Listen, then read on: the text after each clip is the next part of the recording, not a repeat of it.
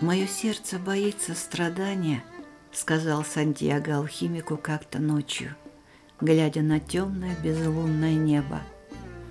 «А ты скажи ему, что страх страдания хуже самого страдания, и ни одно сердце не страдает, когда отправляется на поиски своих мечтаний, ибо каждое мгновение этих поисков — это встреча с Богом и с вечностью». Каждое мгновение — это встреча, сказал Сантьяго своему сердцу.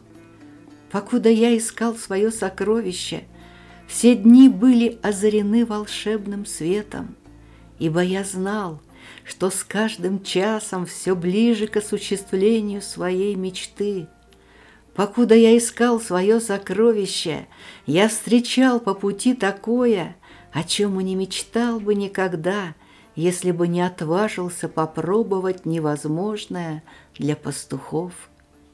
И тогда сердце его успокоилось на целый вечер. И ночью Сантьяго спал спокойно, а когда проснулся, сердце принялось рассказывать ему о душе мира.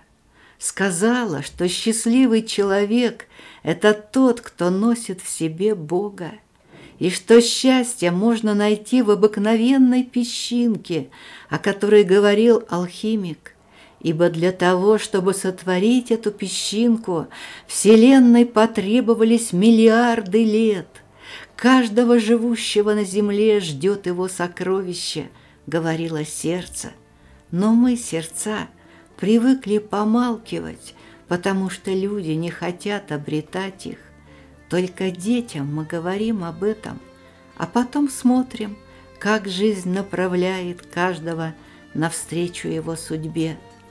Но, к несчастью, лишь немногие следуют по предназначенной им стезе. Впрочем, мир внушает опасения и потому в самом деле становится опасен. И тогда мы, сердца, говорим все тише и тише – мы не замолкаем никогда, но стараемся, чтобы наши слова не были услышаны. Не хотим, чтобы люди страдали от того, что не вняли голосу сердца. Почему же сердце не подсказывает человеку, что он должен идти к исполнению своей мечты, спросил Сантьяго. Потому что тогда ему пришлось бы страдать а сердце страдать не любит.